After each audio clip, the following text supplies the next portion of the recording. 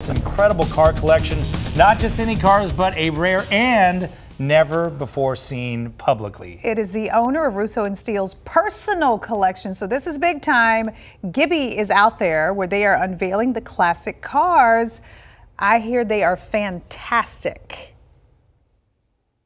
Well, well, they're amazing. And here's the thing, right, guys? Uh, we always talk about Scott. You just celebrated 30 years. I've celebrated 25 years over at the station, but uh, it's always said to us that if you are doing something you love, then you never work a day in your life, right? That's the same thing here. When you talk about Russo and Steele, yes, they're going to be celebrating their 20 years of an auction house out here, and you're going to take a look at a private look at this collection out here. These aren't for auction. The, each one of these cars has a story, has a meaning, has a reason why it's in this area because it means something true and dear to Josephine and Drew uh, Alcazar. Yes, sir. I said it right. I'm sorry about that. Drew, did, did I get it right? I mean, the passion is here. You've been loving cars, putting cars together for years, and now it's something to turn in 20 years later. You have this auction that continues to thrive. Well, it's, uh, it's pretty exciting to be celebrating our 20th anniversary for Russo and Steele. Um, the collection that we're looking at today, really, this is kind of just Josephine and I's cars. Some of these we've had over 20 years. Uh, the auction for us is an extension of this enthusiasm. We'd be vintage racing, road rallying, showing cars, even if we didn't have the auction. But uh, sort of the Russo and Steele auction is that camaraderie that glues everything together. And of course, 20th anniversary, we're pretty excited. We're back, of course, at Scottsdale Road and the 101 Freeway. So that's our location again for this year, as we've had many years past. Uh, Josephine's reviving her gala, so we're benefiting Phoenix Children's Hospital with the opening preview night gala.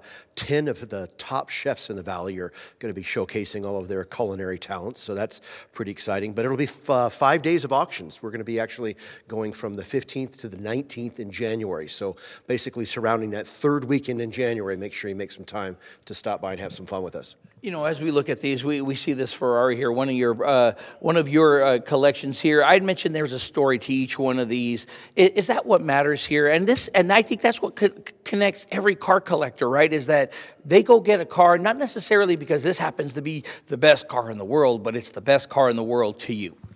Agreed. I think, at least for us anyway, all of the cars have very close personal connections. Uh, the Jaguar E Type was Josephine's very first car, 16 years old in Phoenix, Arizona. She somehow talked her dad into buying her an E Type Roadster. I restored that for her for her 55th birthday.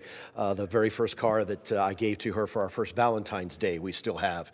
Uh, say, for example, the 63 Ford Galaxie for my great grandfather that my folks gave me when they took my Mach 1 away from me after I was a terrorist at 16 years old. Um, the very first first uh, Viper that got delivered to the public uh, for the GTS. Uh, I've got the truck that actually was at the pace that, uh, or at the race uh, when Bob Lutz paced the race with the Viper. So all of these cars have got little special stories to us that are just really more meaningful. Not necessarily the car is overly valuable or the car's even that significant as a collector car, but I think similar to other collectors, they just have a deep personal meaning.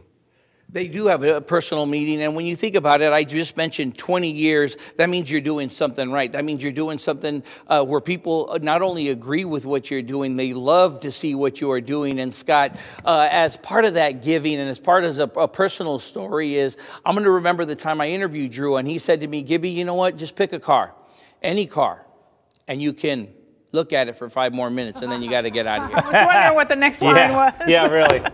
Yeah, I wouldn't even touch them. I wouldn't even get within 10 feet no, of them. I mean, You're just safer that way. Yeah, you can't even afford that, to That is an an amazing collection, car. though. That's yeah. really cool. Yeah.